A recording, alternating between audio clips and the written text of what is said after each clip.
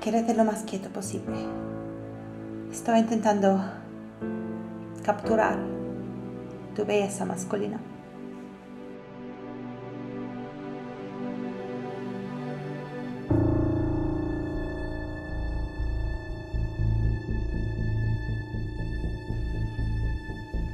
¿Qué escondes ahí?